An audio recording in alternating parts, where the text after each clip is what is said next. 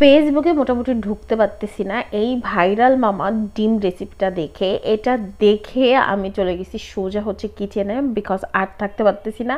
Facebook scroll করলেই হচ্ছে এই ডিম রেসিপিটা দেখছি। যারা হাফ বয়েল খেতে খেতে পছন্দ করেন, তারা হাফ বয়েল করে নেবেন। যারা ফুল বয়েল খেতে পছন্দ করেন, তারা ফুল বয়েল করে নেবেন আর কি সেদ্ধ। দেন এখানে হচ্ছে আমি শসা দিয়েছি, ধনে পাতা দিয়েছি, কাঁচামরিচ দিয়েছি, পেঁয়াজ দিয়েছি কাসন দিয়েছি, হালকা একটু লবণ দিয়েছি, তার সাথে সরিষার তেল দিয়েছি। দেন দিয়ে হচ্ছে আমি মাখিয়ে নিয়েছি, তারপর হচ্ছে আমি ডিমটা সেদ্ধ করব বাট ডিমটা কাটবো বাট ডিমটা হয়তো হাফ সেদ্ধ করতে পারি নাই ফুল সেদ্ধ হয়ে গেছে, বুঝি নাই। দেন সব কিছু মাখিয়ে যে ভর্তাটা আমি করেছি, সেই ভর্তাটা দিয়ে দিব হচ্ছে ডিমের উপর। আমি বেশি আগে থেকে করব না, কারণ আমি জানি না এটার টেস্ট অ্যাকচুয়ালি কেমন হবে।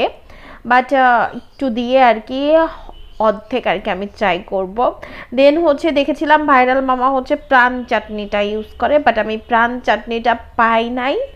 এমনি লোকাল একটা চাটনি, এইটার আমি ব্র্যান্ডের নাম জানি না। তো এই চাটনিটা আর কি দিয়ে দিচ্ছি ওই ভত্তাটার উপরে। দেন হচ্ছে টেস্ট করব অ্যাকচুয়ালি আসলে টেস্টটা কেমন? টেস্ট ডিমের টেস্ট আর কেমন? হ্যাঁ ডিমের টেস্ট কোনো, আমার কাছে আহামরি লাগে নাই। এটা এত ভাইরাল কেন করছে আমি নিজেও জানি না। আমার কাছে একটু আচারি আচারি লাগছে। আর ডিম সেদ্ধ টেস্ট ওরকম কিছু হয় না, ঠিক আছে? এনিওয়ে ভালোই লাগছে।